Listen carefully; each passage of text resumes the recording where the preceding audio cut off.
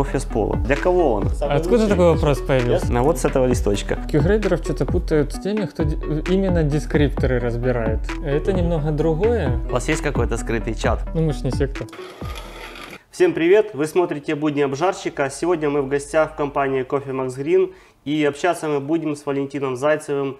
А, Он действующий крюгрейдер. Мы узнаем, кто эти люди, за что отвечают, чем занимаются. И, в принципе, узнаем кофейный путь Валентина. А, Ну, первый вопрос традиционный. Расскажи, как ты связался с кофе? Как, э, ну, что случилось в твоей жизни, что ты попал в кофейную индустрию? Это очень э, случайное событие было. Меня отдали как э, на обжарку. Твой паспорт у тебя находится? Да. Ты если, ты если что, там под столом как-то там простучи ногой. Мы с кофем вообще никак не были связаны. Был просто кофейня, в которую ну, нам нравилось ходить, пить кофе. И Там или здесь? В Донецке, да. Мгм. И когда мы переехали в Киев, э, переехал один из э, собственников и открыл обжарку здесь. И меня туда просто отправили. Как в помощь, как э, для развития своего. Ну, вот какое-то время я поработал там, плюс-минус понял, как кофе выглядит визуально. Вьетнам и Сантос, да? Как, в принципе, он там выглядит обжарка, процесс ее. И потом уже э, через эти полгода Максим все-таки привез первый кофе, основали компанию летом в августе, насколько я помню. А тогда э, где вы кофе брали на обжарку? Э, Я, честно говоря, не знаю. Мне кажется, это был... Приезжала машина. Да, приезжала Привозила. машина, как, как у всех, да. Я по факту только фасовал тогда. И, и все, я перешел к Максиму. Мы работали из дому. Мгм. Ну, то есть был склад, был условно домой офис возили. дома, да. Ты перешел э, в кофе Макс. Э, на какую должность? Или был директор и сотрудник, который там, в принципе, закрывал Был- остальные все вопросы? Да, скажем так, был директор Максим, был Сергей, которого взяли как для продаж. Ну и все, по факту. Вся компания. Меня взяли, ну, помогать хоть чем-то развивать. Ну, по максимуму, что можно было. Потому что поле не паханое было. Мгм. Когда объявили о курсах, было на самом деле интересно мне, как э, человеку, работавшему на обжарке, все-таки понять, как правильно кофе жарить. Что это за курсы? Чему А. ты там научился? Где это было? Сколько это стоит? Кто за них платил? Платила компания, не я.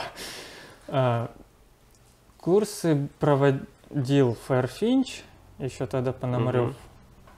На Подоле, да? На да, на Подоле. А, Это вроде бы было 6 дней, насколько я помню. Там было разбито на два курса. То есть не надо было куда-то там уезжать за границу? Не. Сюда все? При, приезжал Пол Сонгер, курсы не дешевые, насколько я помню, были.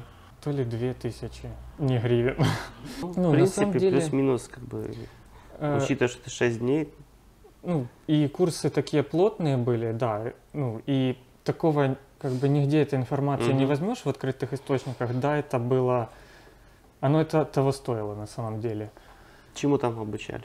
Э, Во-первых, э, там не давали как таковых точных инструкций, давали инструменты, как с ними работать. Теория, практика и там уже профессиональные знания по химии и физике, условно там обжарочные, да. Э, Но, опять же, всю информацию трудно было впитать сразу за 6 дней. И оно постепенно потом доходило еще. И мы решили заказать сэмпл ростер все-таки, потому что нам, Мгм. как поставщику, надо понимать, что мы продаем.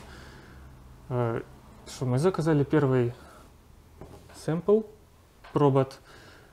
Э, Ждали мы его еще полгода. Ложечка идет в комплекте, пробатовская такая. У них длинная. э, они ложат или ложечку длинную, но у нас не шла почему-то, Мгм. или э, ну, обычный этот пробник. Загрузка сколько там у него? Э, Можно и 50, 30 грамм, и 150. Нормально жует он. В основном айкавы работают, потому что они быстрее нагревают, ну, их не Мгм. надо прогревать, у них э, этот производительность выше. Они больше позиций успевают пожарить, чем пробот. Пробот качественнее просто. за это время я как раз прошел курсы Q-грейдера. То есть после того, как я сразу приезжаю с курсов, приезжает пробот. Про, расскажи про курсы Кирю Рейдера. Ты их э, кончил после обжарки. Э, где это было? Я знаю, насколько мне известно, ты там, где-то в США или в Польшу куда-то Да, в. Москве. В Москве? Да. Ну, учитывая, что я с английским не очень дружу до сих пор, то курсы как раз они появились в Москве на русском с переводом. Курсы я с первой попытки не сдал, как ни странно, завалил тесты. А Их нельзя было пересдать сразу. Там все экзамены можно было пересдать, кроме тестов. И тесты только через год можно было.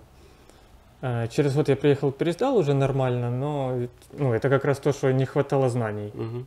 Там знания, статистика, там опять же все, все вопросы связаны со всей сферой. Не только обжарка или зеленка. Биржа идет туда, туда идет статистика кофейная, ну, все. Сколько времени э, длятся эти курсы? Сколько М. это стоит? Курсы тоже около двух тысяч долларов. Э, Точно не помню, может больше, может меньше. Просто уже давно было. Они сейчас плюс-минус в такую же цену. Но э, у нас было три дня подготовительных и три дня экзаменов. По факту там можно сразу экзамены сдавать три дня. Если ты все знаешь, все умеешь, готов. Платишь 2000 долларов, Да. сдаешь, получаешь.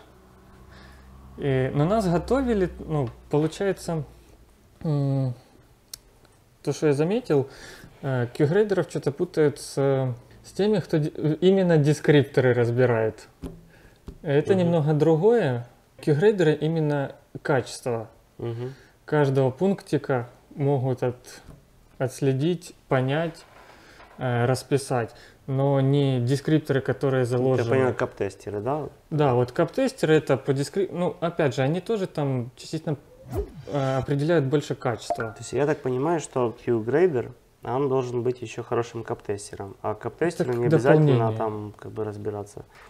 То Э, есть и- кап-тестер должен быть на каждой обжарке. Q-грейдер должен быть э, в компании, которая занимается импортом зеленого зерна. Ну, в идеале да. Потому что в обжарочной компании, ну, к примеру, Q-грейдерам можно, чтобы в, в штате был, но зачем? Дескрипторы на самом деле это все память. То есть пока она не наработана, и дескрипторов не будет никаких. Скажи, Q-грейдер эм, после окончания курса получает какую-то лицензию, там, диплом, Да. сертификат, это пожизненно, или это нужно постоянно каждое какое-то время там проходить э, переквалификацию, там, подтверждать ее? Каждые три года нужно проходить калибровку. Ну, калибровка проводится для того, чтобы м, Не уйти ну, с дороги. Да, не уйти с дороги, если кратко. Потому что многие иногда там завышают, занижают, и в итоге среднее по миру гуляет сильно. Но на калибровка как раз это плюс-минус выравнивается, потому что э, контингент собирается разный со всех уголков в основном, и ну, не все проходят, к сожалению, оказывается. Но я, кстати, уже пересдавал в прошлом году, слава богу, успел. А зачем пересдавать? Ну, смотри, ты работаешь вот в компании. А, ты, в принципе, получил базу знаний и там сертификат. Пускай он там через какое-то время, через какое время надо пересдавать. Три года. Ну, вот три года прошло, пусть он уже там не действителен, но плюс-минус ты как бы уже свою работу выполняешь, и ты разбираешься в продукте. Прокалиброваться можно как-то, я не знаю, там и без поездок Это, куда-то. Условно подтверждение твоего э, навыка, твоего статуса. Ну, оно должно быть в любом случае. Сколько Q-грейдеров в Украине? Сколько вас? Именно в Украине. Именно в Потому что Украине. Дима Ну, Слукин вроде не живет в Украине. Нет, именно, Поэтому- давай так, именно в Украине. Ну, Настя Микалюк, э, Светлана Ивахова, я. И вроде бы все. А, нет, еще Вока. Валентин тоже. Четверо получается. В Украине и один за рубежом, да? Как, как оно быть э, в таком маленьком круге людей? У вас есть какой-то скрытый чат, когда Нету. там, привет, коллеги, там типа. Вообще нету. Ну мы ж не секта. Мы все никак не называем по факту. избранные. На самом деле это просто тренировка э, как э, мозга. Тебя на тренировывают, и ты этим пользуешься, этими навыками. Все. Это не, не прирожденно, это ничего сверхъестественного. любому человеку можно вот научиться? Или вот Любому. если не дано, то вот, вот не дано? Любому можно. Хоть как-то там.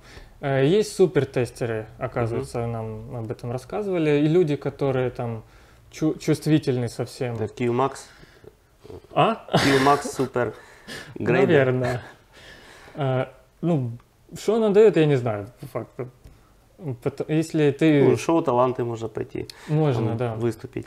То, что ты слышишь, то, что не слышат другие, это только тебе нужно, по факту и все. И- некому проверить, Да. потому что никто не слышит больше. Э, Что еще? Это знаешь, как есть такие случаи, как вот на пачках пишут там дескрипторы, там клубника, там еще какой-то там вкус. А клиент звонит и говорит, типа, я вот, э, у нас был случай, когда Мгм. клиентка звонит, говорит, у вас написано на пачке шоколад, но я его не ощутила. Или То я ли- его то- не нашла То ли физически. забыли положить тогда, то ли как. Говорит, ну мы объясняем, что это в принципе как бы описание вкуса на, на уровне там каптестера. Как бы, ну не обязательно, что вот так вот сходу вы ну, на- найдете эти вкусы. Не, ну есть э, э, кофе, в котором четко слышно какие-то определенные дескрипторы, но где-то это просто размазано, или они смешиваются с другими. Когда э, кофе сложный, там много дескрипторов, их э, пока разложишь, там голова кругом пойдет, а тем более, когда ты открываешь пачку, и у тебя там 10 дескрипторов, ну, как конечный потребитель, и, и он этого не слышит, это нормально. А скажи, а, если Q-грейдер там завышает или занижает баллы, он несет какую-то ответственность за это? А какой смысл зани- занижать или завышать? Ну, я не знаю, там приехал какой-то кофе, там, допустим, там, ну, чтобы его лучше покупали, там, можно поставить там не 85, а там 87. чик. Но оценка на самом деле формируется же из э, многих параметров. Мгм. То есть ты когда оцениваешь зерно, ты не фокусируешься, что там нужно завысить или занизить. Ты ее просто объективно по своим ощущениям оцениваешь. Да, там можно а, завысить или занизить, если кофе на столе сильно разного качества есть. Но это если у тебя там на столе тогда появляется любимчик, ну это у многих такое, я знаю, было или есть, и тогда его завышают. Но если ты объективно там фокусируешься на определенном лоте, то ты не можешь за- занизить или Ну, в любом завысить. случае, это математика. То есть этот Да. балл появляется, это сумма разных там оценок за каждый там, Мгм. Э, момент. Ну, Ну, ты понимая, как потом в итоге получится этот балл, ты можешь на каком-то моменте чуть-чуть ну, не ты, а в принципе подтянуть. Ну, там есть параметр как общее впечатление, и в основном э, он регулирует, но опять же он э, не выходит за рамки вы, самой низкой или самой высокой оценки из предыдущих там пунктов. Он в диапазоне должен быть. То есть нету такого, что там кофе везде по 7 баллов, Мгм. а твоя личная 9 будет. Такого не может быть. Скажи, Но а, э, да. эм, для этого, в принципе, и калибруется, ну, калибруют э, на Q-грейдинге, чтобы плюс-минус одинаковая оценка ну, обозначала именно качество зерна. Ну, то есть э, 8 для кислотности, это не значит, что она там будет противной. Это Мгм. оценка хорошей кислотности, скажем так. Не сверх там какой-то необычной, но просто хорошей. Если обжарщики переносят э, м, балл зеленого зерна на пачку, на уже обжаренный кофе, как ты к этому относишься? Не очень. Почему? Ну, это неправильно, потому что мы оцениваем свою обжарку, э, которая светлее намного, или наоборот там быстрее, э, ну, свой профиль условно оцениваем, чтоб мы оцениваем э, весь кофе в одинаковых условиях, чтобы он ну, там весь условно одинаковый, только характеристики отличались. Э, Не было привязки ни к обжарке, ни к профилю, поэтому а, Когда обжарщик пишет, э, у обжарщика все равно свой профиль есть, свое оборудование, которое там дает какие-то нюансы, там даже дескриптор может новый добавить. И очень сильно на балл это влияет в любом случае. Да, но клиенту а, интересно узнать, из какого а, сырья а, ну, получился вот готовый продукт. Если ты приходишь в какой-то стейк-хаус, и тебе говорят, что это стейк, а, который у тебя в тарелке, он там с какого-то там аргентинского быка, которого 90 там баллов. делали, ну там баллов может нет, но которому там делали массаж и поили его пивом и вином, и э, на бирже там какой-то этот, Мгм. стейк там продавали там по каких-то там миллион долларов за килограмм, и вот он у тебя, это же интересно как бы. Это как с Ямайкой получается. Ну, История красивая, а на выходе ничего интересного. ну тогда уже это уже вопрос к обжарщику, если он имеет такой продукт. Ну вот.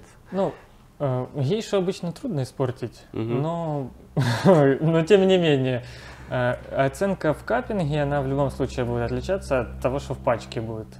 И ну, в идеале конечному потребителю финальный результат выдавать, чтобы его ожидания все-таки хоть чем-то реально были. Вопрос к тебе как к грейдеру э, по поводу курсов различных. Сейчас я вижу просто в интернете, что э, другие Q-грейдеры проводят там онлайн разные калибровки, а, обжаривают э, какие-то дефекты обжарки, там рассылают э, пакеты, наборы, еще какие-то э, варианты. Потом это все там подключается, все одновременно а, проводят какие-то обучения, курсы. У тебя есть что-то такое? Ты, может, планируешь? Ну, У меня на это времени явно Кус- не кусок, хватает. кусок хлеба, на самом деле, как, как я понимаю. Потому что, э, ну, как бы, м, аналогов в Украине мало, где можно пойти и поучиться вот реально разбираться хорошо в кофе. Обжарщика сейчас очень много. Я, во-первых, скорее всего, что не буду этим явно заниматься. Мне неинтересно. И нету времени и сил. А, Немного другое у меня все-таки приоритет, в приоритетах стоит. А, Но мне кажется, это на самом деле полезно для рынка. Э, Как минимум, многие начинают прокачиваться. Я, насколько помню, у Насти Микалюк курс онлайн, где она свой, свой образец расписывает, и э, все участники тоже оценивают по, э, по бланку и свои баллы там прописывают, и все плюс-минус хоть как-то калибруются. Ну, на самом деле, я вот слышал обратную связь от э, людей, которые Мгм. участвовали. Э, Им интересно было сравнить э, свои результаты с, ну, с референсом, скажем так. Э, Ну и они понимают, где они не дотягивают или перетягивают, к примеру. Ну, поэтому, да, я считаю, это полезно для рынка все-таки. А давай э, поговорим про именно э, часть вот каптестинг в этой профессии. А Как нужно себя там, не знаю, рецепторы свои беречь? Можно ли, э, там, не знаю, там, неправильно питаясь, там, имея там какие-то вредные привычки, там, потерять э, там, дар этот? Ты как-то бережешься в этом плане?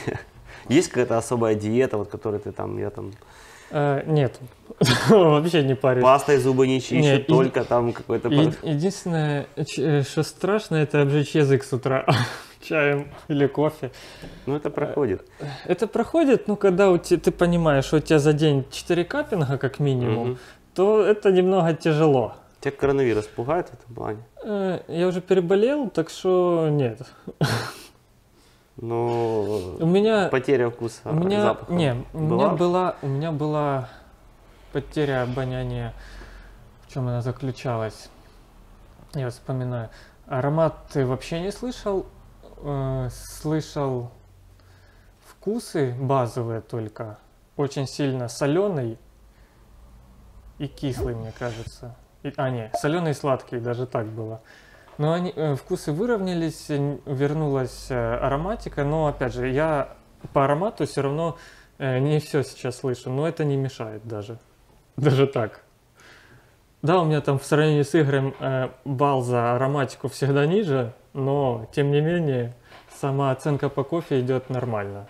Дескрипторы, все это, даже у нас дескрипторы совпадают по вкусу, так что А Q-грейдер Тут- может участвовать а, в чемпионатах по каптестингу? Может, почему нет? Или это как бы не совсем Э, честно?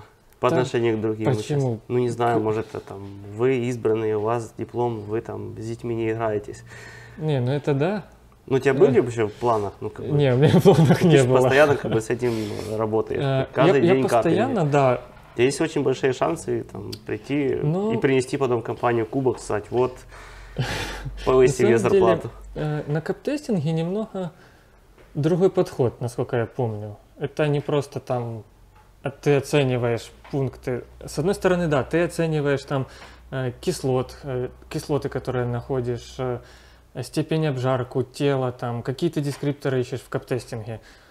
А, Навыки э, этого Q-грейдера в принципе могут помочь, но все равно ты перефокусировку делаешь на, дру- ну, на другие критерии. Поэтому трудно сказать на самом деле. Кофе, который... Что я выиграл бы, к примеру. Тренировка именно на кофе это одно, а тренировка уже а, там за гантелями это другое. А вот это что за машинка? Это кофетек, он от 100 грамм до 2 килограмм. Мы его брали э, как типа лабораторные клиентам, как допуслуга там, чтобы килограмм можно было Мгм. помочь пожарить, такого плана объемы. На нем можно жарить и по 300 грамм, мы и на чемпионаты жарили на нем, и на эти, на каптестинге жарили. Ну, в этом плане он удобный. Алина Витринка, ж, э, я ей по 100 грамм жарил Мгм. кофе на нем на чемпионат. Он справляется со всем. Ну, у него есть э, три тена, которые отдельно там включаются. У него не airflow, а м, этой улиткой регулируется выдув. Перфорированный барабан тонкий, то есть он не инерционный. Мгм. И обороты барабана.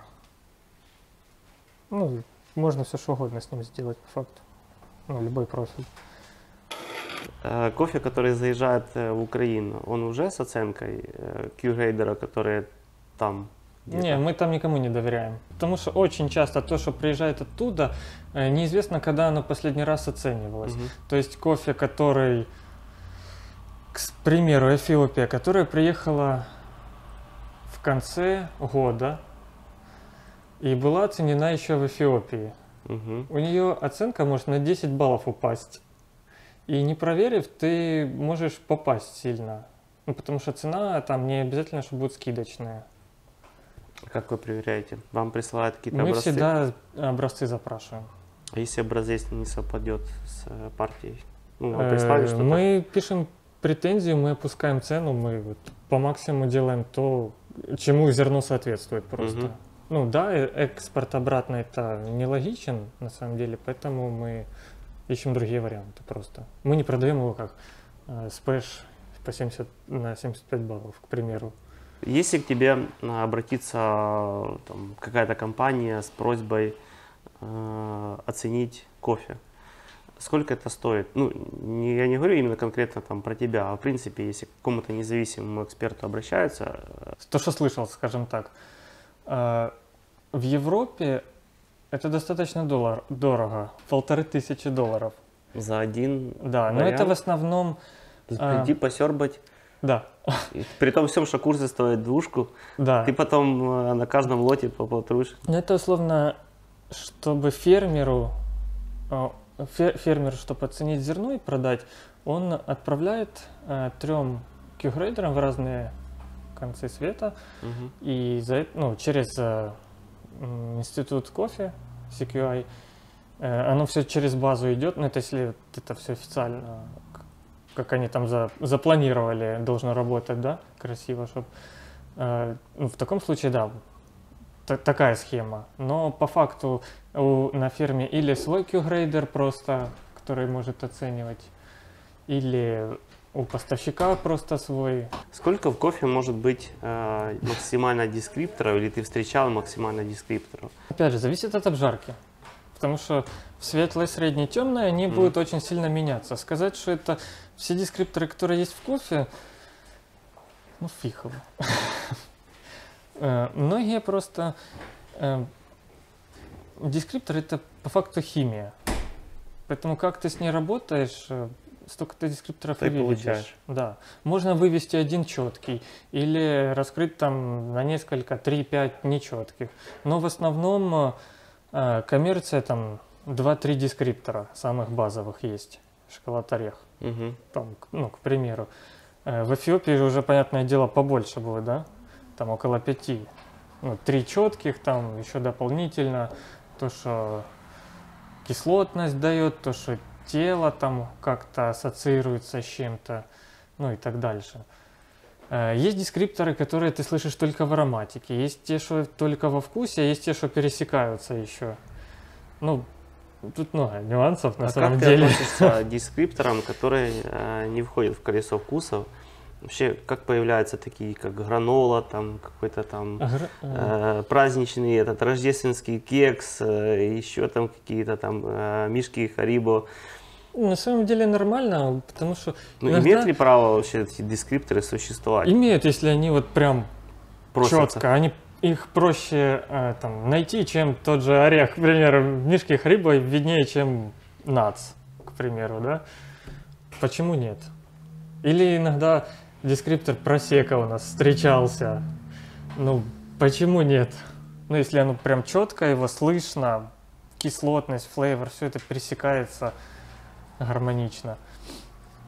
Э, В колесе больше, я бы сказал, такие базовые, которые, э, как сам, говорили сами SCA, которые можно встретить везде. Оценка SCA, как проводится, и Q-Grade, Q-оценка, это разные процедуры? SCA как таковую оценку не проводит. Э, SCA, насколько я помню, организовала институт как раз качества, который занимается этими вопросами. Готовят Q-грейдеров, инструкторов, ну то есть типа как дочернее предприятие получается. Ну, сказать, что это оценка SCA, ну, некорректно, как по мне. То есть баллы SCA это вообще некорректное такое словосочетание. Мне кажется, можно использовать просто баллы, но баллы SCA это как-то... Не, ну просто система оценивания. Э, ну, система оценивания по бланку СКА, скажем так, идет. Бланки есть разные. Для Робусты тоже есть свой бланк, и он не СКА. Он Отдельно, да? в Институт качества там Уганды идет. Ну, все равно под э, чьим-то знамением. Какой самый большой балл тебе приходилось э, капить? То есть вообще встречать, держать в руках? Э, наверное, 93. А может быть 100-бальный кофе существует? Не уверен. Э, насколько я понимаю, не, невозможно. Э, может быть, но выше 90 идут оценки или оценивание настолько сложное, что э, трудно описать эту кислотность или тело на 10 баллов будет. То есть оно или где-то просаживаться все Мгм. равно будет, какой-то какой-то критерий, или ну, я не знаю. Какой минимальный балл может быть? Так, чтобы это можно было поставить на стол. 30-50 где-то там. Что за такой кофе? Но в любом случае, э, если кофе нормальный, бездефектный, то у него минимальные оценки начинаются от 6. И плюс 30 баллов еще идет э, за баланс, нет, не баланс, господи, повторяемость, чистоту и сладость.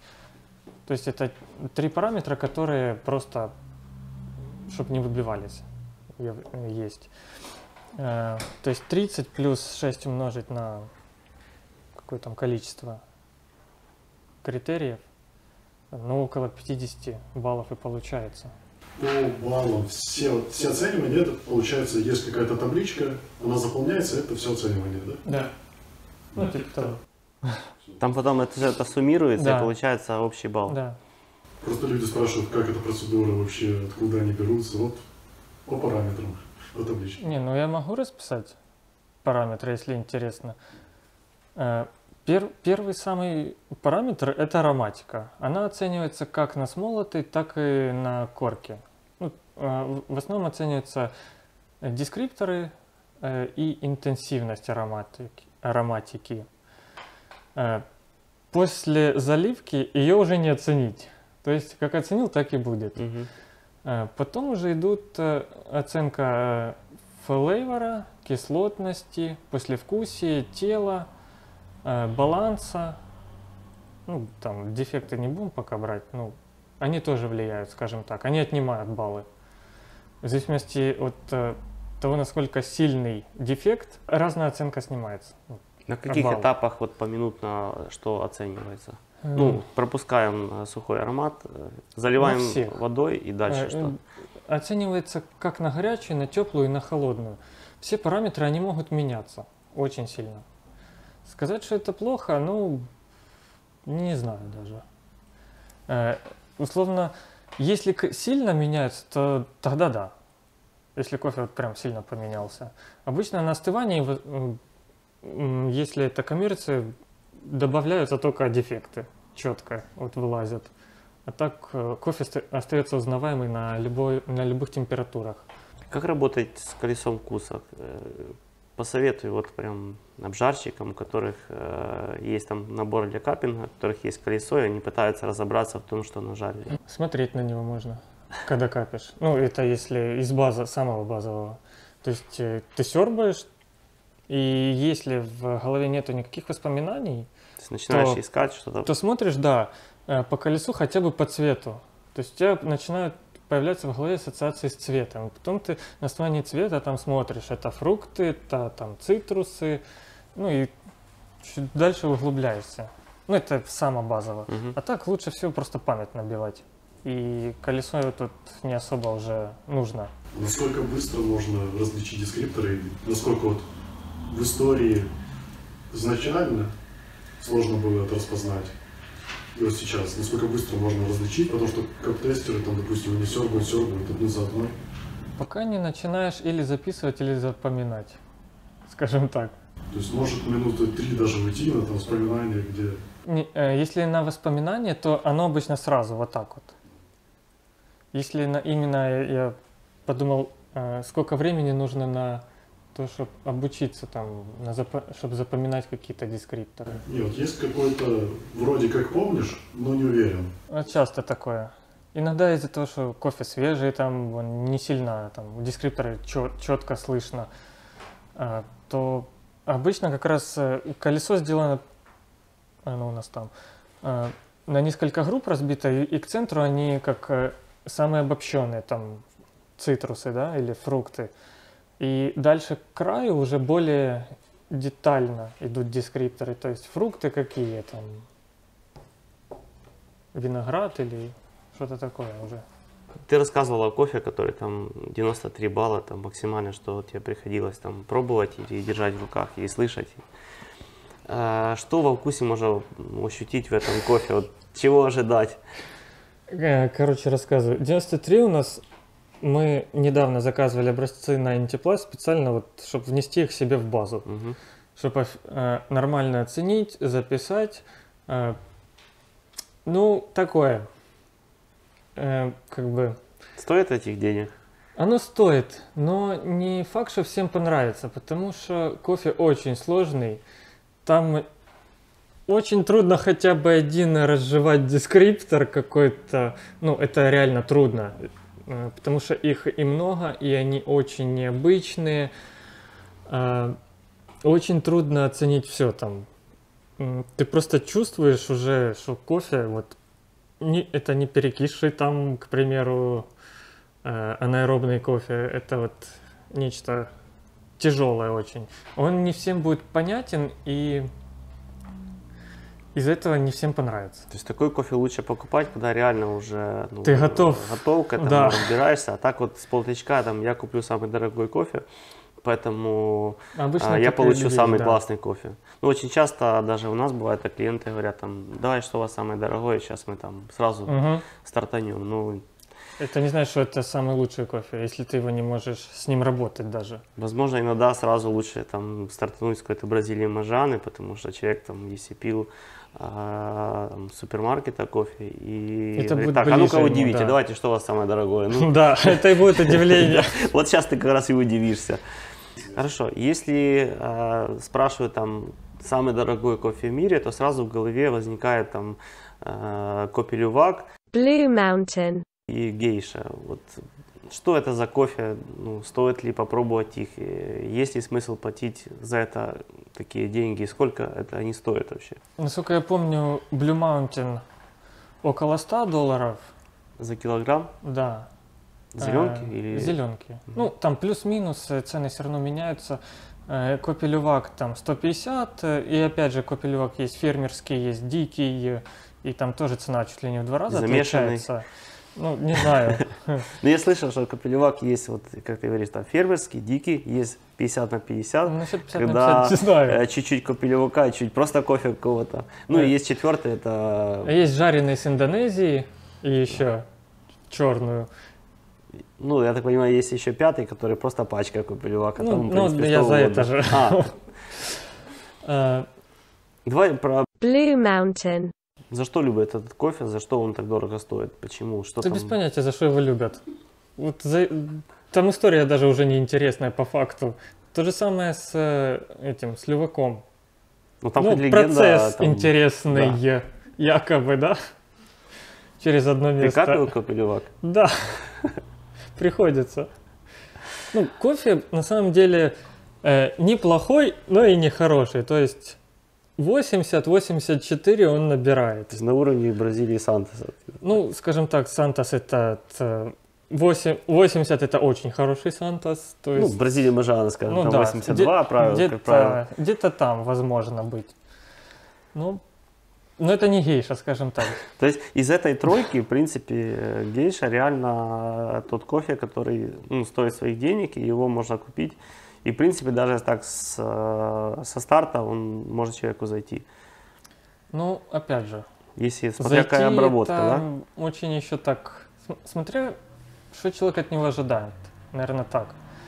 Потому что э, можно взять классику гейшу, да, мытую, там, немного обработанную, и она зайдет, скорее всего, как, как Эфиопия мытая будет, Мгм. только интересней.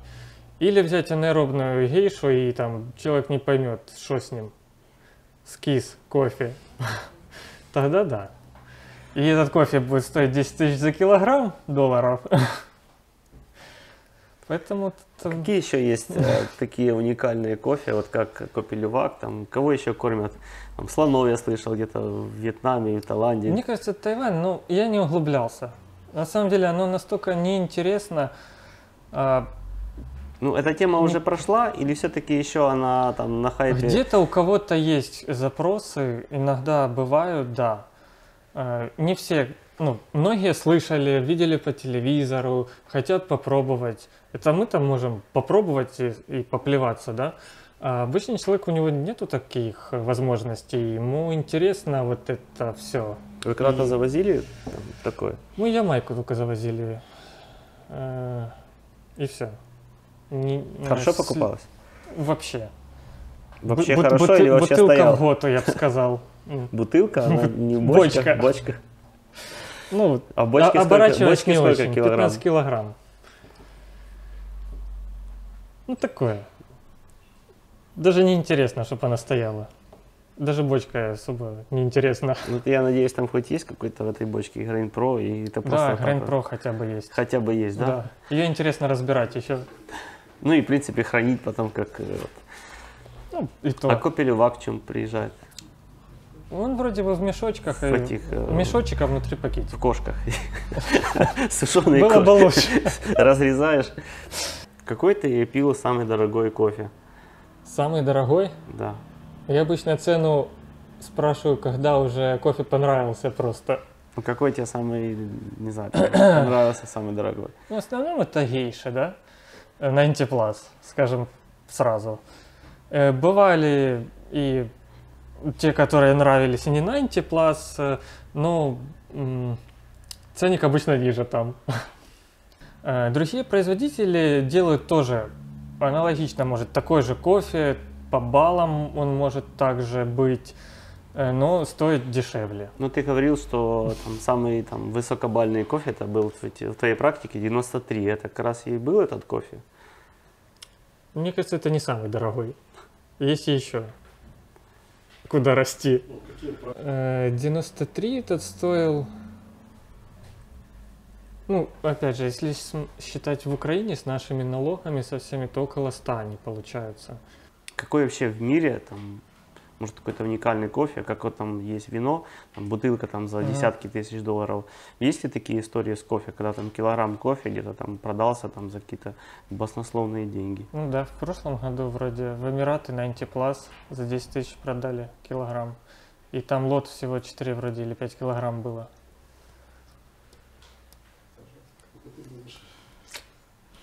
Ну, у них там от 1000 до 10 тысяч еще есть варианты. Интересно, а что чувствует обжарщик, когда ему вот на, пожарь, пожалуйста. И не запари, да? Да, да, и не запари, тут Не пережарь, и не дожарь. такой засыпал, да, рассвет Ну, пропал. Там можно, наверное, зеленый уже заваривать. Я думаю, да, чтобы точно уже не попасть на... Там проще кофемолку уничтожить. На самом деле такой кофе, да, не с первой попытки пожаришь, если не было навыка. Поэтому в идеале там находить подобный и на нем практиковаться. Ну, нам как-то в комментариях написали, что арабы где-то пьют зеленый кофе. Вот, и, наверное, оно оттуда и пошло, что когда приезжать, очень страшно его жарить просто. Я не знаю, где они пьют, конечно, зеленый. Ну, там как Я бы думаю, это начина- единицы. начиналось с того, что там, там арабы пьют зеленый кофе. Потом, ну как зеленый кофе? Ну, там э, yellow уже как бы наступил. Там, ну как yellow? Ну так, как бы так, чтобы уже молоть можно было в кофемолке. А. Там. Ну, в принципе, как бы до второго крека еще далеко. Ну вот, э, ну так, в принципе, почти зеленый. Не, ну, если говорить о вот этом дорогом кофе, то из-за обработки он может уже и будет в желтом уже готовым. Просто потому что визуально там Мгм. обработка его вытягивает. Это опять же, если визуально смотреть. Но вкуснее он будет, когда он тупо черный. Как ни странно. Скажи, в каких э, уголках мира кофейных ты побывал вот, э, по своей, там, скажем так, профессии, там, в поисках какого-то интересного кофе, ну, в принципе, по работе, скажем так.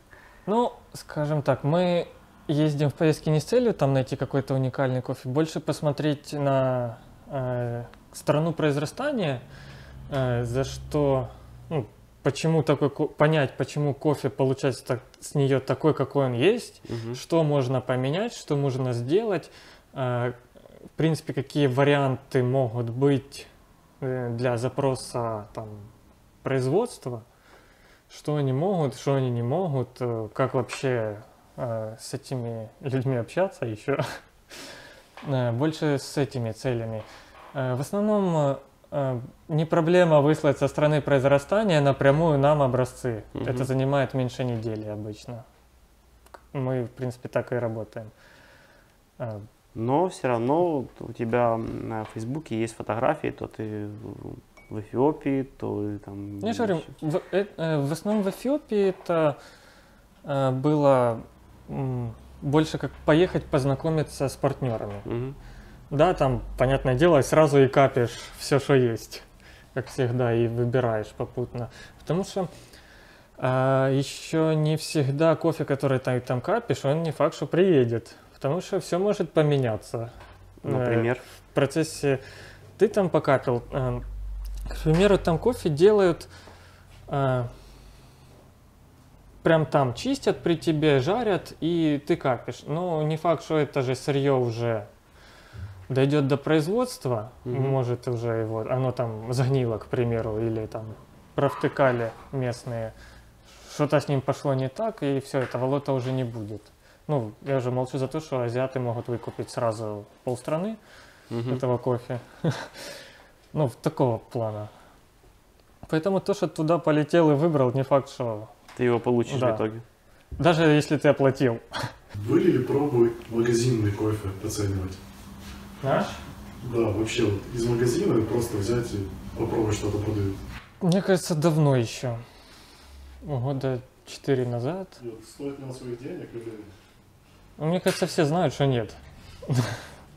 Любой кофе, который стоит на полке, он э, через сколько теряет с даты производства? Месяц-два? А обычно по полгода стоит минимум. Да, особенно если еще и клапана нет, то такая просто дырочка в пачке.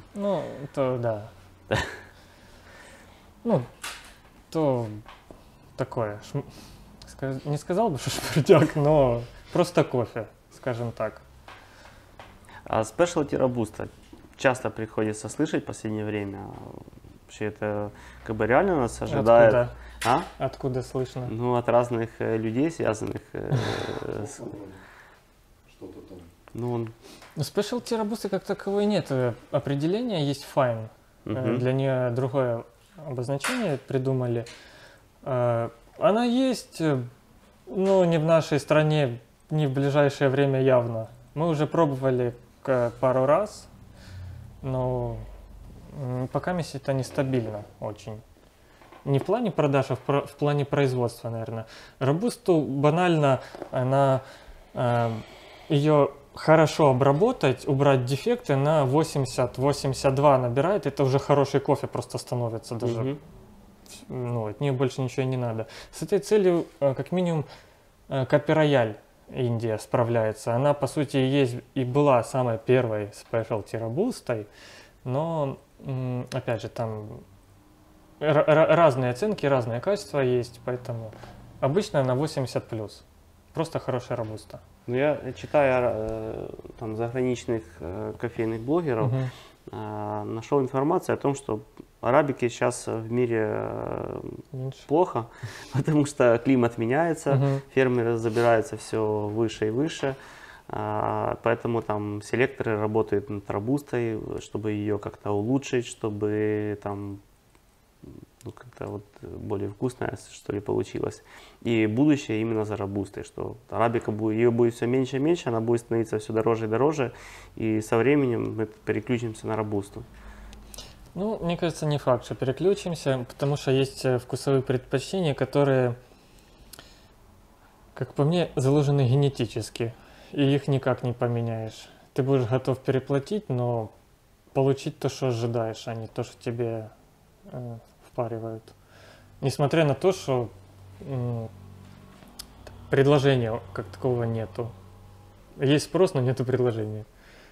А, По Робусте мы три года назад э, проходили преподготовку по Робусте, ну, Мгм. то же самое, как Q-грейдинг, там R-грейдинг, он вроде называется. Э, тоже интересный курс, сложнее, чем арабика. И мы там пробовали Робусту на 88. Прикольно, на самом деле, как натуралка хорошая. Но я опять же говорю, что производство ее ну, нестабильно. Получить то, что ты пробовал, не всегда реально. Особенно в больших объемах. Ну да. Ну и цену за робусту не готовы у нас платить там 10 хотя бы. И, и 5 тем более, там, и 15. Ну, Просто всё. правильно преподнести, закупелевак Э, дают. Нет, тут как не преподнеси, там ну, просто скормить кому-то, не знаю. там что не сделай. Возможно ли такое, что кофе оценили так при одной обжарке, а потом обжарщик обжарил так, что там супер какой-то кофе по- получился и оценка выше станет? Ну, чисто теоретически да. Ну, На практике наоборот, скорее всего. Ну, на практике не замечали особо вот. Обычно оценка финальная ниже, чем зеленого. Ну, просто как минимум потому, что а, если это обжа- э, обжарка под э, эспрессо, то она обычно темнее, и она немного тянет вниз э, все показатели. Ну, как бы это нормально просто. Если фильтр, то э, не сказать, что она там тянет вниз показатели, но они не становятся лучше. Ну, если это, допустим, один ростер был, вообще какой профиль используется, если какой-то базовый, или под Мгм. каждый кофе подбирается для грейдинга? В основном это базовые какие-то профиля, чтобы кофе можно было оценить на- в одинаковых условиях. Ну, мы приблизительно для себя понимаем, ну, какие э, там, моменты, на них не обращать внимания, потому что там обжарочные в основном это, или э, и когда свежий кофе, это ну, просто еще зелень в нем, Э, мы просто их не берем во внимание. Ну или потом еще пережариваем, чтобы понять, насколько реально можно еще вытянуть из кофе, потому что самим интересно. Ну, вот так. Как ты относишься к анаэробным ферментациям? И вообще это что, это за этим будущее или это так, временный хайп? В любом случае, они всегда были. во всех продуктах они были. Сейчас их больше стали применять к кофе. Э, В любом случае, они вытягивают качество на другой уровень. Ну, если не перестараться. А, Возможно, ли будущее, не уверен, потому что трудно обеспечить объем, на самом деле. Поэтому, э, ну, в общем, мне они нравятся больше, чем там классические. Например, утром мне э, интереснее там э, попить какой-то ядреный кофе, чем э, мытый. Ну, А это для меня. Постферментация. Да не. Да не. Чего? Да что-то как-то не. Ты пил какой-то хороший вариант постферментации? Там, Не. Нюхал. Нюхал, просто нюхал, но я даже не могу пить их. Как-то оценивать там. Это нос закрываешь и слышишь коммерцию во вкусе обычно. Са- Самое, вот как определить, что кофе ароматизирован? Или не кофе, а продукт? Ага. Закрыть нос просто. Вчера купил боржоми со вкусом клубники, закрыл нос, обычное боржоми. Понятно. То же самое с ферментациями. Ну, то есть оно не, не, не дает импульсы, которые формируют флейвор. А, Валентин, расскажи, э, давай так разъясним сейчас э, вопрос касательно спешлти кофе. Какой кофе может называться спешлти? Это от оценки зависит. Есть мнение, что спешлти это кофе, который выше 80 баллов. Есть мнение, нет, спешлти это который выше 86 баллов. Это связано с баллами или есть другие какие-то параметры, по которым кофе может называться спешлти? Э, Есть другие параметры. Скажи. Расскажи, Во-первых, это дефекты. какие? Э, Без первичных, и там еще допускается какое-то количество вторичных. Э, В Какие спешлти. первичные? Какие первичные? Вообще дефекты? никакие не, до- э, не должно Нет, быть. какие бывают, А, чтобы... Первичное черное, полностью черное Мгм. зерно, полностью скисшее, а, сильно поеденные, а, господи, кто там еще? Грибок, насколько я помню. Там их 7, семь видов. Мгм. Ну, я не буду их перечислять, потому что и для этого есть книжка с дефектами. Э, То есть и, это, принципе, точно, это везде. точно не спешлти уже, но еще не факт, Э, что да. спешлти. Но везде есть нюансы. Да. Во-первых, в первую категорию еще не попадают камешки и народные предметы. Ага. Но кофе натуральный продукт, и все может быть Да. все-таки. Любая человеческая ошибка э, к этому может привести. Но, опять же, если рассматривать это как конечный продукт, то обжарщик может там на дестонере это все убрать. И убрать э, те же квакеры. Э, и вытянуть, соответственно, и бал кофе. Но есть еще такой момент, как э, прослеживаемость. Ну, к примеру, в Сантосе ее не будет. Ну можно на карту тыкнуть пальцем? А в Маджане, например. Э, Маджан это условно большой регион, и все. Это чуть, Дальше- это чуть конкретней. Чуть-чуть, но это такое, скользко все. У Эфиопия второго грейда тоже ж нету никакой трассабилити. Я не знаю, насколько глубоко оно должно быть все, но все-таки, чем больше ты про кофе знаешь, чем больше ты про него можешь рассказать, тем э, больше создает оно ценность. Ну, нету конкретных каких-то э, требований или показателей для спешлти. Вот есть конкретно дефекты, баллы 80 плюс, как Мгм. ни странно, да, несмотря на то, что Сантос иногда все-таки так бывает, набир- набирает, но там тоже есть нюанс. В Сантосе обычно еще дефекты, которые попадаются энное количество раз на энное количество чашек, которые как раз там забирают эти баллы, но А что по квакерам? Сколько По в квакерам, спешлти кофе может э, быть квакеру? опять же, по стандартам, стандарты идут на мытый кофе только. Мгм. Они не распространяются на натуральный, а тем более на аэробный, который будет полностью скисший э, Сто визуально. процентов скишей Да. кофе. Э, В натуралках будет куча квакеров, и это будет нормально, они не будут особо влиять даже там. Возможно, это просто э, э, сферментированное зерно, и визуально оно так выглядит, и с ним ты ничего не сделаешь. В мытом, да, в мытом их вроде бы 3 допускается на 100 грамм. То есть по факту, если брать вот оценка так называемая SK и так называемая Q, можно считать, что это Q это без traceability, без прослеживаемости, прослеживаемости допустим, да? потенциально. Что? Если оценка высокая, но он не считается SK, потому что не прослеживается. Оценка и прослеживаемость не связаны. Прослеживаемость это Нет, одно, если оценка SK, допустим, и оценка Q, есть такие. Оценка СК и оценка Q, э, опять же, бланк СК есть, по которому оценивается, а Q это тот, кто оценивает. Specialty кофе и не specialty. Вот оценка 85, но не specialty может быть такое, да? Да, просто потому что про него ничего невозможно узнать. Ну, сказать, что это плохой кофе, нет. Ну, это хороший премиум кофе, я бы сказал. Это вы сейчас о чем? Это просто высокая оценка, но он может быть не specialty при этом. Ага. Ну, обычно, чем э, выше оценка, тем там э, и прослеживаемость обычно есть. Ну, э, редко такое, что коммерческий кофе, который без traceability, ну, это никому не с интересно. какого балла, с какого балла можно уже не глядя сказать, что это точно спешлти? ни с какого. Если нет Ну. прослеживаемости, это уже не specialty, понял? Вот я же об этом.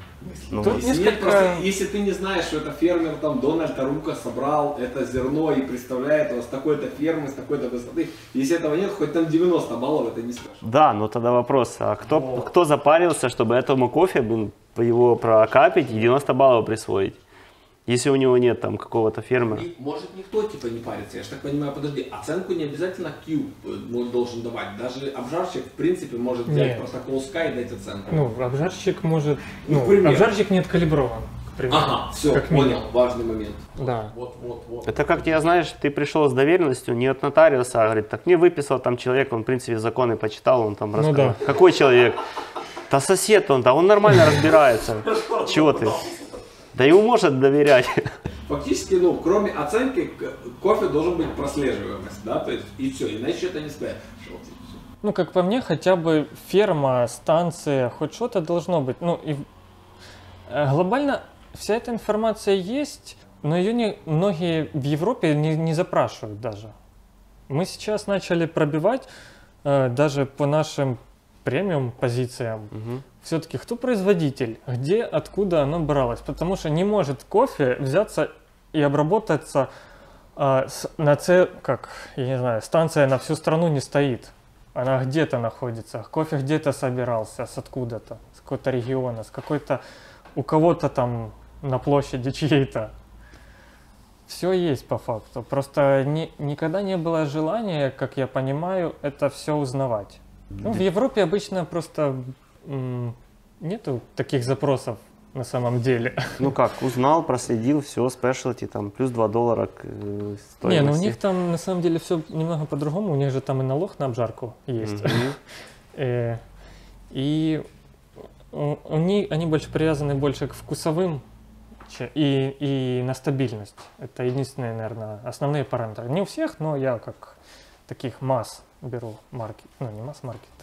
А Расскажи про, э, щас, про Cup of Excellence. Я там не был. Ты не был, но, но я уверен, что слышал.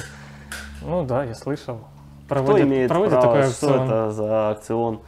А, там э, судить имеют право все, ну, любой Q-грейдер. Я, правда, не знаю, как э, они сами дают, э, высылают запрос, или ты можешь выслать, если тебе интересно. Но, насколько я понимаю, кто оценивает, тот и покупает, тот кофе. Сколько стоит его оценить? Сколько стоит оценить? Да. Э, Я, честно говоря, не знаю. Ну, сказать, что там мега какой-то кофе, не всегда. Э, У них немного другой бланк. Э, И оценки там от 85, я, насколько помню, даже идут там в- или 86 в, Шести пе- в вроде. первых там, э, там в топе Мгм. считаются. Но это же не то. Сколько человек нужно, чтобы поставить оценку, чтобы присвоить оценку? Чем больше, на самом деле, чем больше, тем лучше, потому что выводится среднее э, основываясь на разных опытах просто. Ну, просто есть одно зерно, вам прислали сахар, да? Тут один человек прокапил, и он может поставить оценку потенциально, да? Да? Ну, на самом деле, оценка может меняться даже на разной воде, даже на одной и той же воде, давайте так. В разные дни заваренное. Просто на отлежке зерно может меняться. Но э, нам, мы как э, оценим уже, это немного не в тему, наверное, да? Но мы оценим именно потенциал зерна, а не именно его как фин- финальный на сейчас результат. Как-то так. То есть-.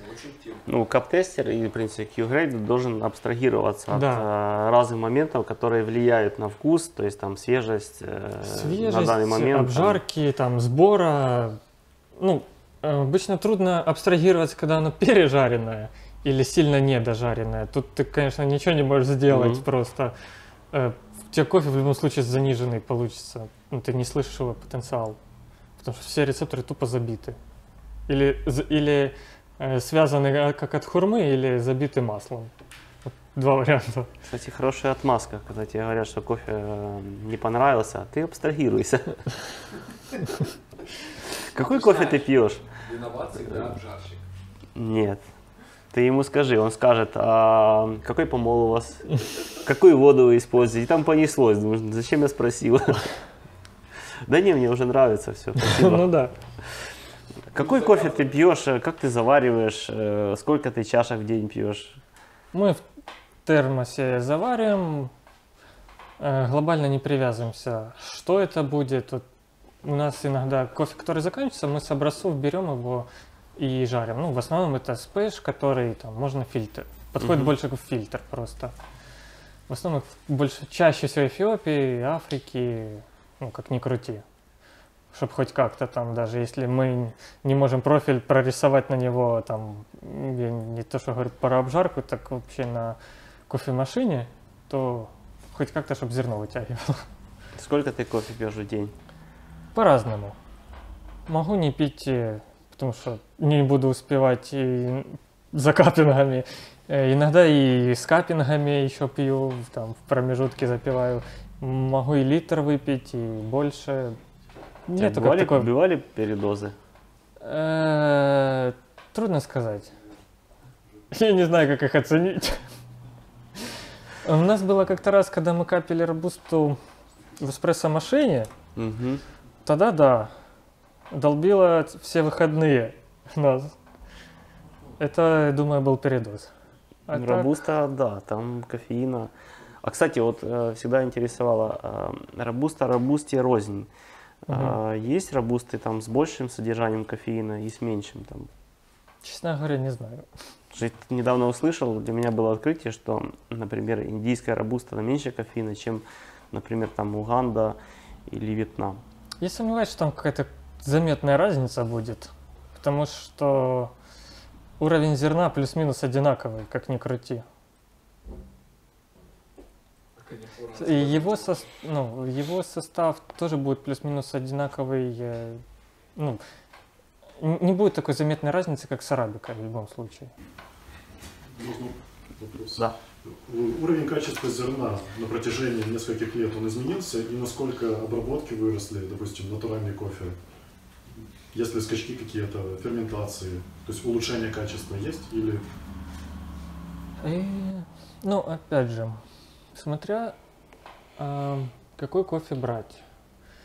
Часто, если б- брать, к примеру, а, одну плантацию или одного фермера, то у него из года в год в любом случае может из-за погодных условий меняться сырье, ну, финальное уже. И там ни обработка, ничего не поможет. Это просто плохой кофе может быть. целом технология обработки? По технологии как таковой нет, потому что в каждой стране она все равно свой- ну, плюс-минус э, везде одинаково, но там из-за, опять же, из-за погодных условий разное время там будет или разные предпочтения. К примеру, почему Кения не делает натуральный кофе? Вот, ну, потому что э, они не умеют его делать. У них просто руки заточены вот на одно. Их как не просишь, они не знают, что ты от них хочешь. Ну и у них все на потоке, к примеру, поставлено, и они не могут там выбиваться из него, потому что им надо сделать объем вот этого. По Про, про обработку именно ферментации. Про ферментации это все вот э, настолько, из, э, наверное, из разряда хочется попробовать, потому что, э, ну как, на потоке это не сделаешь, в запаре это не сделаешь, потому что это надо заранее планировать, как, какое сырье ты, во-первых, возьмешь, э, ну и как ты это будешь, как ты планируешь эту ферментацию делать. Вот там куча своих нюансов, которые не, э, как, не идут на потоке просто. Ну, Есть ли в целом улучшение Э. качества вкуса за последние годы? Я же говорю, тут все от кофе зависит. Потому что если соотносить цену и качество, то все меняется постоянно. К примеру, у нас в этом году мы до этого брали Эфиопию Теппи мытую, второй грейд. Она раньше стоила 5, что-то 5 с чем-то, до 6. В этом году тоже качество уже выше 6. С чем это связано? Вообще, какие Может быть, спрос новости, появился? э, кофейной индустрии в этом году ожидать? Э, Было ли там удачно собранный урожай, там где-то какие-то погодные условия, может, катаклизмы, войны? Ожидать ли удорожания всего там кофейного сегмента? Или Я думаю, удорожание в любом случае ожидать, потому что оно уже как минимум началось. Э, Колумбии уже, уже выросли. Э, Кении выросли. чем это связано? Эм, Я думаю, спрос больше. Ну, Колумбии, ну, Кения больше как спрос. Ну, У них еще последние годы, я насколько понимаю, меньше урожай Мгм. собирают. Ну, запросы все равно есть на этот А кофе. почему меньше урожай? Э, Погода. Больше зеленых зерен, больше травмированных и тому Мгм. подобное. И, соответственно, спелых ягод становится меньше. Э, В прошлом году тоже, в принципе, такое было, э, но оно с каждым годом все больше и больше. Э, А Никарагуа, вот именно закрытие этого рынка на какое-то время для нас как-то на, на повли- несколько лет. Ну да, повлияло это на цену там Колумбии, Гондураса, ну, другой Центральной Э, Америки? Нет. Ну, по сути, это ж только для нашей страны закрыли. А цены на Колумбию, Гондурас ж такие, как во всем мире, по факту. Э, Я, насколько помню, Бразилия еще в этом году меньшие объемы и цены должны расти. Вырасти, да? Да. А там что? Меньше, климат? меньший объем, да, климат. Ну, я не знаю за все регионы, потому что, опять же, статистика средняя берется. Может быть, какой-то регион больше, да. Вьетнам потирает ручки, говорит, Эм, так, А во завален Вьетнаме весь. там свои в этом году были нюансы. У них э, контейнера они не могли найти для отправок. у них столько кофе было, Да. что Кофе был, контейнеров не было. А, канал же Суэцкий этот перекрывался. Это тоже на многое повлияло. Было ли такое, что пираты захватывали там и задерживались из-за этого? Ну, у нас нет. Ну, А они, вообще, да. они сначала захватили такие, там, все там корабль наш, товар вскрыли, такие, блин, так, ребята, плывем дальше. Ну, мы знаем, что пираты захватывали, и кофе не было больше. Были такие моменты, но я же говорю, не у нас. Еще по было. поводу лотов. Насколько у нас уникальные лоты в страну попадают и какая есть страна, которая там все их выкупает, например? За азиатами можно успеть что-то хорошего купить? Сейчас я вот хочу понять, какой просто стране по какой самый- стране. самый уникальный кофе покупают и доезжает ли до нас что-то такое топовое? У нас в основном самое топовое доезжает, что самое интересное. Многие лоты э, пересекаются с европейскими топовыми обжарщиками. Очень много лотов, как ни странно. О чем это говорит? м, Во многом. Что количество обжарок огромное просто. Количество обжарок огромное. Уникальность, э, которая дают лоты, тоже присутствует. Но люди не могут этим воспользоваться. Ну, наши обжарщики, к сожалению. В Ну, смысле? М, привозя э, лот, который в Европе продают от Барна, да, к примеру, Мгм. сколько пачка у них? 20 евро. Не знаю. У нас продается пачка 16. Такого же точно кофе, этого же лота. Э, Возможно, при еще и лучше этом- пожарен. Да, лучше пожарен. В, любо- там в любом случае лучше пожарен. Мы даже пробовали у себя барновский и ну, любого обжарщика. Мгм. Просто за, минимум за, за счет свежести. Это небо и земля просто.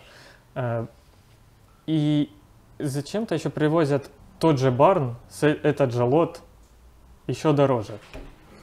Ну, как копелювак. Ну, Копельвак обычно, конечный потребитель привозит для себя там с какой-то целью, там, э, память о поездке, там, а барн это такое же. Ну, не то, что я говорю, что в барне плохой кофе, просто они нацелены на свой рынок.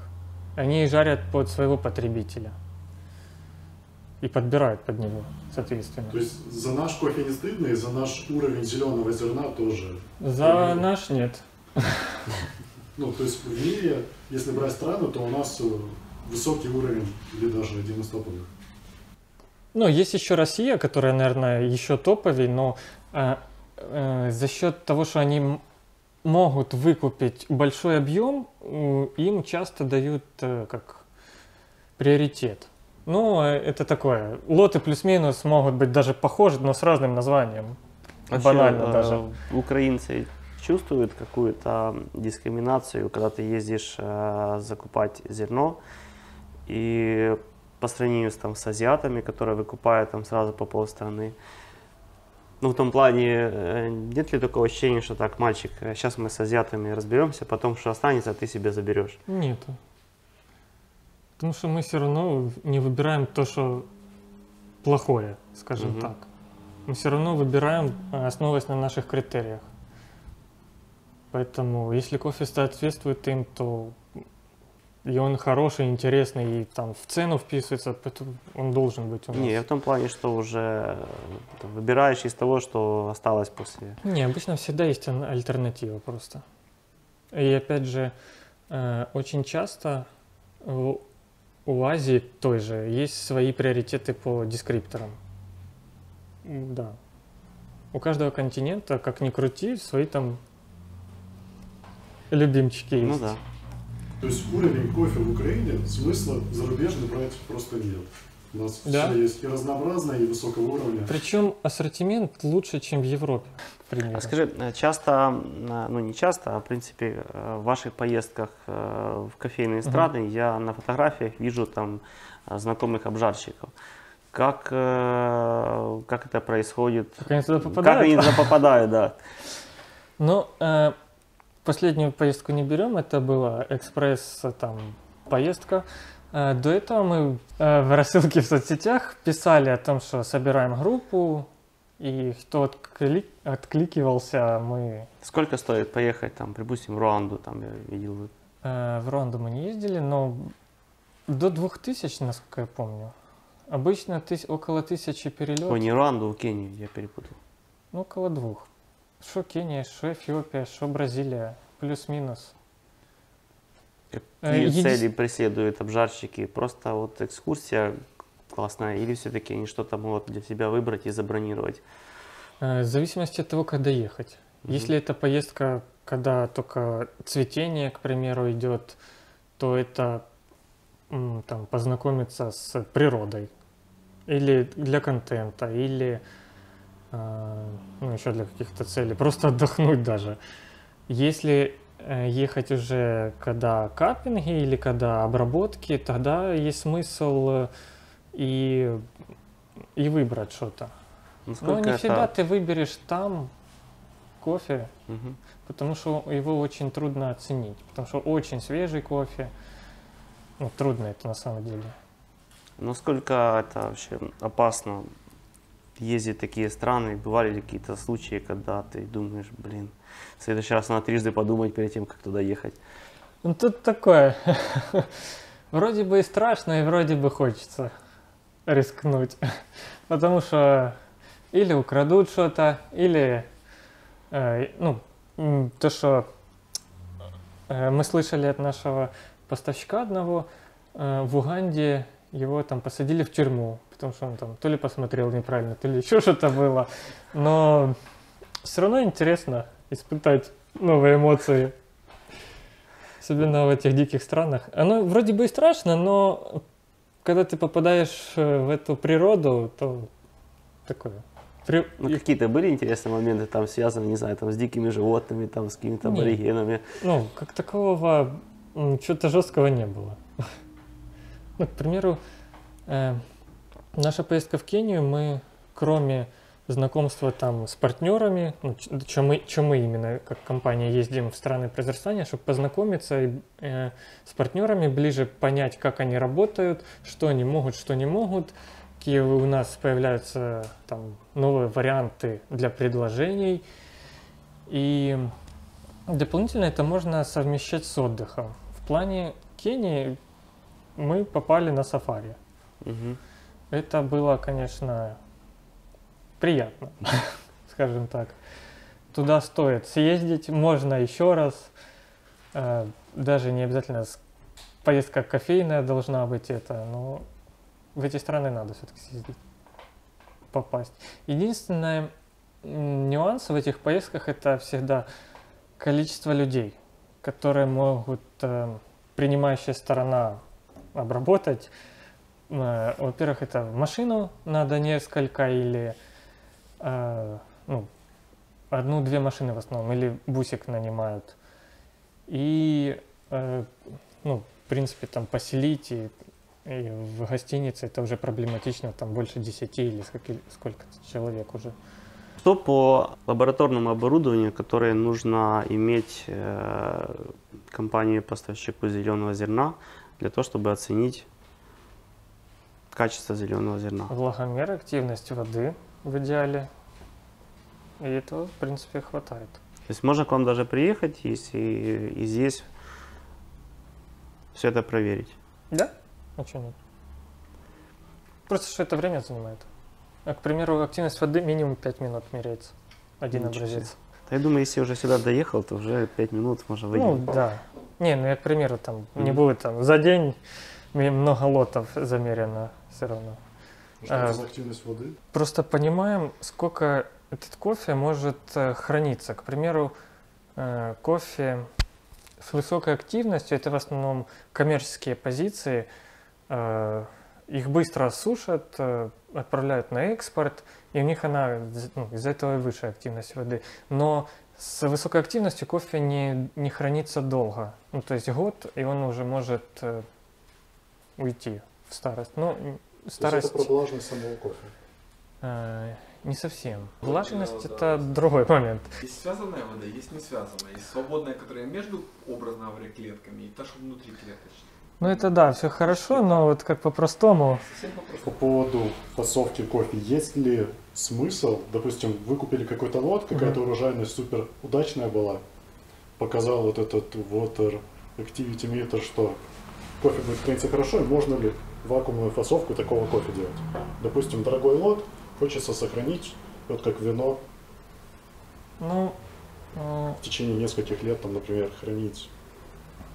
в принципе, спешлти можно и, ну, если он есть парам, э, критерий, нет, диапазон данных, куда э, кофе должен попадать, там ни ниже, ни выше. Выше есть шанс э, как раз развития там бактерий, ниже его старение. Почему-то как-то связано оно. А, И спешлти в основном вот в диапазоне там более к низкому, чтобы активность воды была низкая, э, для того, чтобы зерно не меняло вкусовые и дольше хранилось. И обычно даже влажность тоже, она э, на низком пороге, там, не, если э, стандарт это сколько, 9-12, то в идеале ближе к 9, чтобы она была, потому что зерно лучше хранится ну, продолжительное время. Э, Есть ли смысл фасовать, перефасовывать, потому что, Э, допустим, вакуум там сложно. Э, Перефасовывать, ну, это, опять же, это просто по заказу. Ну, условно, в вакууме просто замедляются все процессы. Но если они и так низкие, то достаточно и Grain Pro, просто чтобы защи- защитить зерно. Э, Ну, вакуум это как для себя чисто больше. Ну просто кто-то из обжарщиков хочет иметь этот лот именно того года, того урожая. Проще тогда замороз... замораживать его про- тогда, к примеру. Зеленое зерно? Ну, Да? Тогда лучше и дольше можно хранить еще. А, Кофе Макс Грин как компания, партнер, поставщик зеленого зерна. А, Приоритеты сотрудничества. Почему это самый лучший поставщик? Ну, конечно, приятно, что вы говорите самый лучший, но... Я- нет, я не говорю, я спрашиваю. Я спрашиваю. Я, я не говорю, что там кофе самый Откуда лучший. такой вопрос появился? Я спрашиваю. Ну, вот с этого листочка. Э, Лучше это такой себе параметр на самом деле. Э, Его Хорошо. С ка- трудно С какой бы компанией быть- ты бы посоветовал сотрудничать обжарщиком? Ну, конечно же, с нашей. Вот. Почему? Я просто за тебя ответил и спросил, Э, почему. Просто потому что, ну, как минимум, я себя очень часто ставлю на место клиентов. А, Да, я, там есть куча нюансов, там проблем каких-то, а, что что-то не так в работе, в сервисе. Но, опять же, это все решается, и со всеми такое бывает. Но в плане надежности и ну, в плане надежности, что вы получите именно то зерно, которое заказывали, что мы можем это обеспечить, это да. Ну, нету такого, что мы в прайсе у себя напишем а, а, 90 баллов Сантос, ну, и при этом возьмем Сантос плесенью, да, к примеру, и будем его продавать, а вы скажете, что нет, и, а мы будем вам доказывать, что так и должно быть. Получишь весь- грейдер, а потом будешь Да, рассказывать. да. Нет, кофе должен все равно соответствовать э, своим показателям. И, соответственно, у него цена должна быть такая. Мы, э, ну, нам самим неприятно просто, когда кофе, к примеру, очень слабый или старый, или никакой, и стоит там э, дорого. Ну, Очень я, часто я, мы... кстати, обратил внимание, вы честно пишете а, в дескрипторах, вот не стесняйтесь написать там, если кофе реально уже старый, Мгм. написать там а, привкус там древесины либо бумаги. Ну да. И а, вот это очень еще хотела спросить по поводу, ну просто много хейта по этому поводу и насмешек. Кофе с пола. Э, Для, да, для кого он? Кто покупает? Зачем вы ну, пишете? Просто, ну, реально в кофейной тусовке, когда этот, все типа, ну, ржут с этого, непонятно, как к этому относиться. То ли с уважением, типа, ну, как бы, ну, реально, как бы написали, они продали вам там, а, что это за... Ну, на самом деле позиция. это в основном кофе, который просто рассыпается во время фасовки, э, упал мимо мешка. Все. Его э, сыпали в одну... Он просто перемешивается обычно на полу, и его уже сыпают в один мешочек отдельно. Мы его не, не высыпаем обратно в мешок. Ну, мы всегда слышим, э, что ну, там, у наших клиентов есть какие-то проблемы. Э, не обязательно там с кофе связанные ну, там, с той же выгрузкой да, товара. К примеру, водитель, он по факту просто водитель Ну да, да. должен быть. Но часто стоит вопрос, как выгрузить палету из машины или закинуть ее куда-то. Э, ну, аналогичных вопросов и проблем куча. Ну, мы их стараемся э, как-то им решать. Ну да, это не всегда сразу, не всегда это как э, рентабельно получается. Ну, насколько можем, и стараемся помочь. Ну, в дальнейшем там все равно учитываем их. Ну, глобально это сервис. Валентин, спасибо за интересную беседу. На самом деле, ну, много чего, да, прояснил, э, много чего узнал. Я думаю, что зрителям тоже будет интересно, потому что а, ну, хотелось бы посоветовать э, конечному потребителю не просто рассматривать готовый продукт, а еще не забывать, что этот готовый продукт получается из зеленого зерна и копать чуть глубже и интересоваться, а из чего был обжарен тот кофе. Смотрите будни обжарщика, подписывайтесь на наш канал, там ставите лайки. э, И помните, что кофе бывает разный.